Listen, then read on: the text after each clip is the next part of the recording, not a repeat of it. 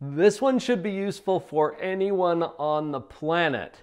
How to think before you act. But there's some psychological tricks we can apply.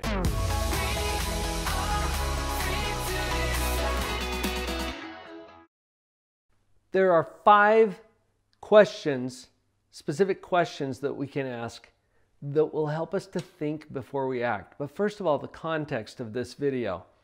I am one of the founders and I currently serve on the board of directors for Nova Principles. You notice I've got my Nova shirt on today. Nova is a program that teaches children principles in the schools, and typically these lessons are taught by law enforcement personnel. I'm the one who trains the cops who go into the schools and teach the kids. And this program has been phenomenal in helping kids to do better thinking but I think this principle is helpful for anyone. The concept is called study the situation, or in Nova, we shorten it to STS study the situation. It puts a little distance between us and what it is that we're encountering so that we can actually think before we act. So, five questions that will help you to study the situation. Question number one Will this decision violate any moral or ethical principles? Part of the focus in the NOVA program is to make sure that our behavior is consistent with moral and ethical principles. I have found that most people understand these. In fact, I was running a group in a juvenile correctional facility. This was early on when I first became a psychologist. And in this group were kids who were incarcerated for some of the most heinous crimes you can imagine.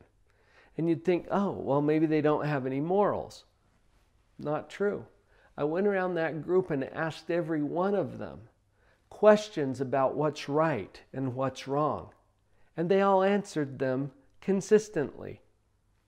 Hurting someone, Unanimously, they decided, no, that's wrong.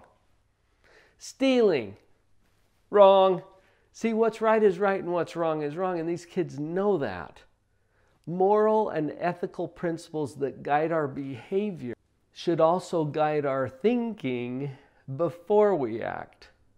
Will this decision cause me to violate any moral or ethical principle? Let's move to question number two.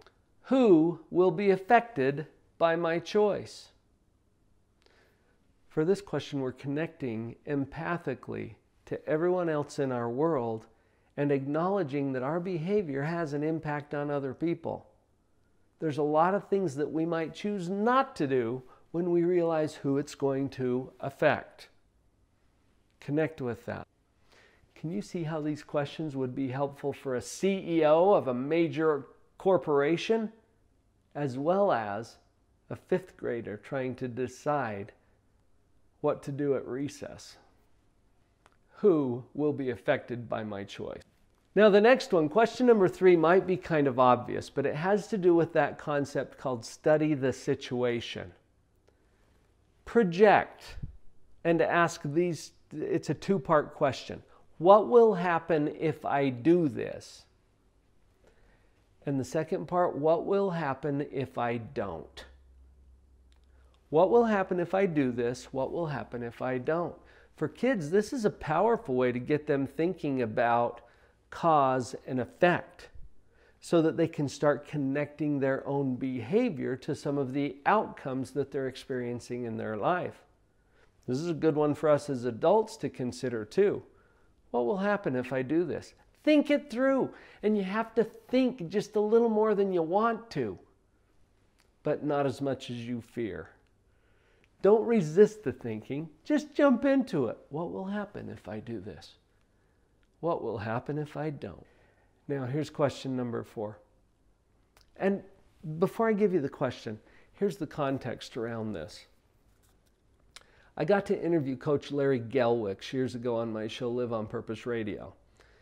If you're not familiar with Coach Gelwix, there was a major motion picture that came out called Forever Strong.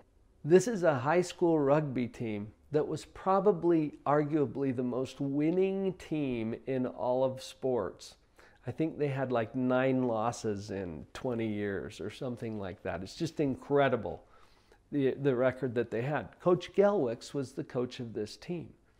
And one of his principles that he taught the boys on that team, and that is to never do anything that would embarrass your family or your team. So the question I associate with this one is Would I do this if someone that I really respected knew about it?